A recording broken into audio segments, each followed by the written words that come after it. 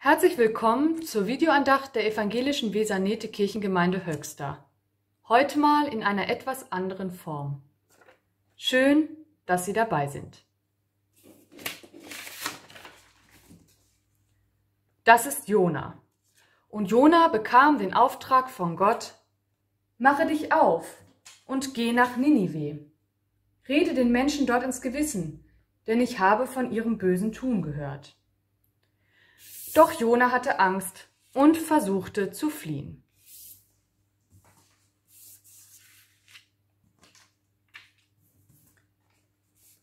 Er nahm ein Schiff und versuchte nach Tarsis zu fliehen. Doch während der Fahrt kam ein großer Sturm auf.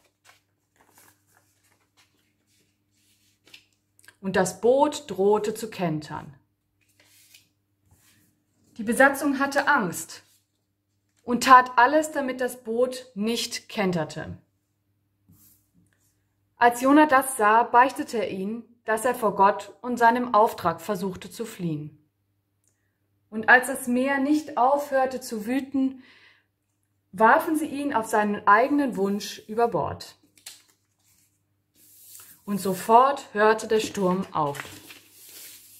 Und das Meer wurde ganz ruhig und das Schiff konnte weiterfahren. Und Gott sandte einen Wal, der Jona verschlang. Und Jona saß im Bauch des Wals und betete.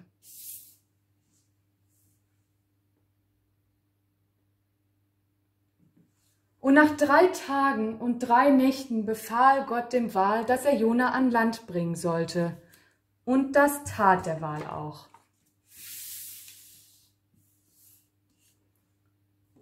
Und an Land sprach Gott erneut mit Jona.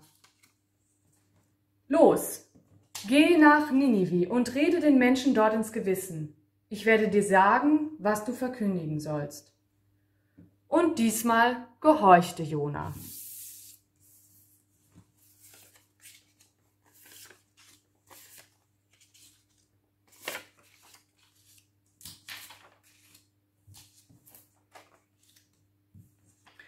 Und als Jona in Ninive war, warnte er die Menschen davor, dass sie vernichtet werden sollten, weil sie Böses getan hatten.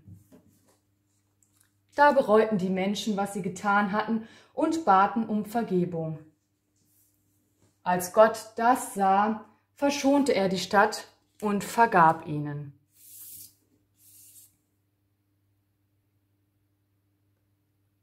Gott ist immer da und beschützt uns Menschen.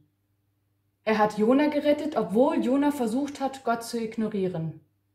Und Gott hat die Stadt Nineveh verschont, weil sie ihre Fehler bereut und um Vergebung gebeten hat.